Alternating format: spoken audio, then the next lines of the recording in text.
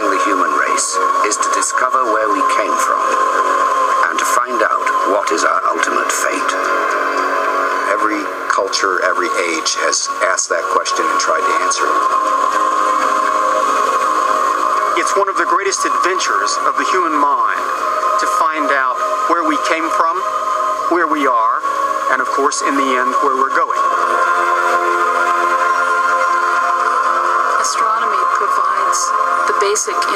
That each person needs to understand where he or she came from and where the human race is going.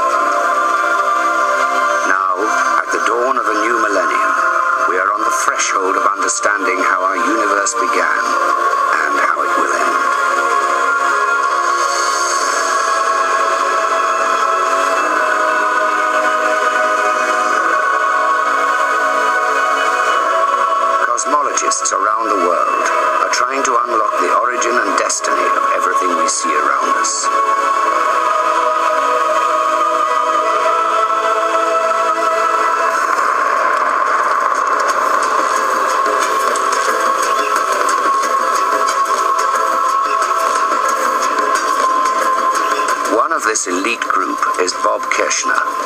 He's on a journey to Cerro Tololo in Chile to measure if there's enough gravity to hold the universe together. We've known for a long time that the universe is expanding and coasting along since the Big Bang. One of the questions has been how much gravity has been slowing down the expansion of the universe. Just like when you drive a car up a hill, uh, you can slow down if you don't apply power because gravity's pulling back on you. We think that the expanding universe would be slowed down by the gravity, by all the stuff that's in the universe. One of the interesting things is that we've been able to do some work to try to measure that, and we found a surprising result. Not the one that we expected to find, but one that really turns the whole problem on its head. Kirshner's team may have discovered answers that seal the fate of our universe. They've discovered that it's not just expanding,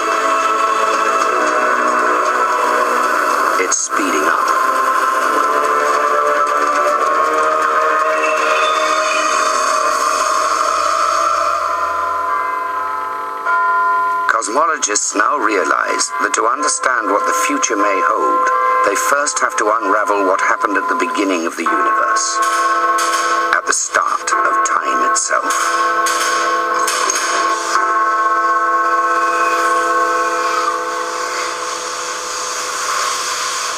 In our daily lives, time is constant and dependable. It's almost impossible for us to imagine. But before the creation of the universe, there was no time.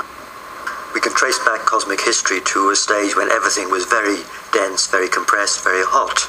But the further we go back, conditions were so extreme that we can't really rely on any of our common sense intuitions. We can say that time, in the sense we understand it, didn't really exist before that.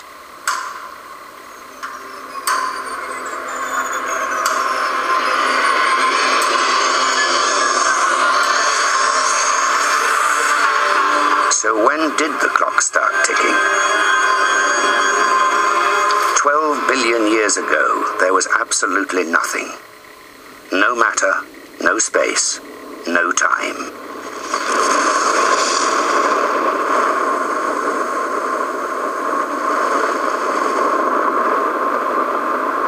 We may never know how or why it happened, but a seething mass of energy smaller than an atom grew from nothing.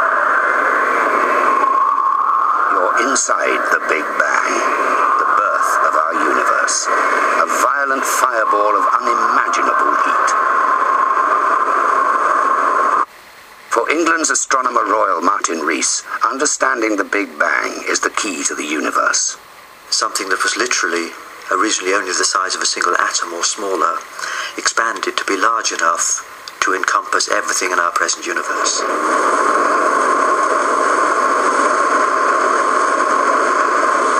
Only the minutest fraction of a second had passed. But all of this was puny compared to what was about to happen. Propelled by a new surge of internal energy, the universe suddenly entered an incredible period of inflation. It expanded a hundred trillion, trillion, trillion, trillion times to the size of a grapefruit.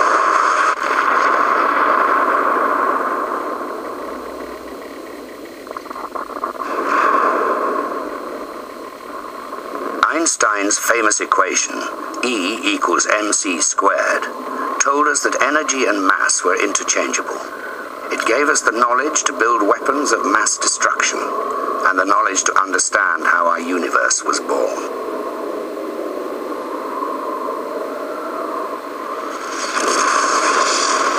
When a nuclear bomb explodes, a tiny amount of matter is completely annihilated and converted into energy. But in the Big Bang, the exact opposite happened. Pure energy was converted into matter.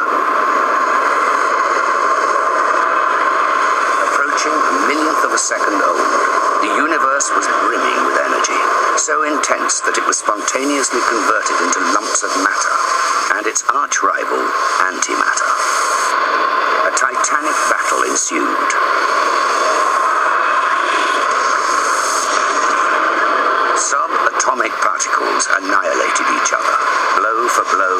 particle for particle. When matter and antimatter meet, they mutually destruct. This is the most powerful release of energy known.